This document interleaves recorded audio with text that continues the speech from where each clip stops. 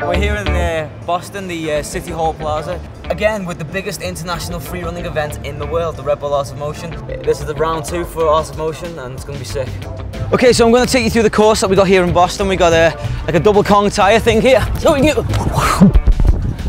uh, we got different walls, tires, and setup. We got a car wreck here, so it's kind of like a natural um, urban environment with a crane. It's more like a construction site. We got a bar set up. We got bars up here, so the guys can like swing. This, uh, I can only view this environment from my point of view. I like to see what's inside these guys' heads and see how, what they can do with it. And that's the beauty of it, is that we all think completely differently.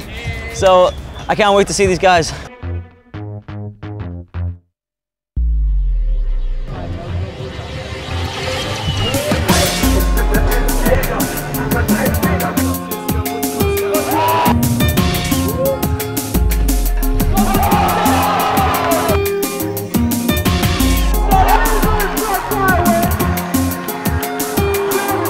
Awesome. I mean, usually it's just been like me and my friends hanging around and just seeing like Boston get some attention and having all like the pros that I've been watching on YouTube for however many years come out and get to talk to them and you know like converse and see them train in real life and like I mean it's cool like knowing them really.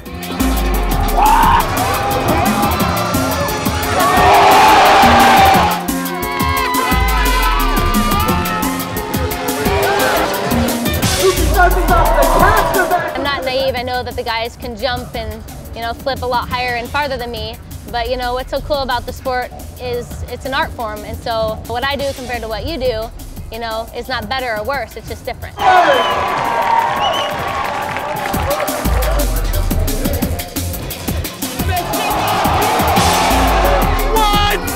Thank you, America, for you.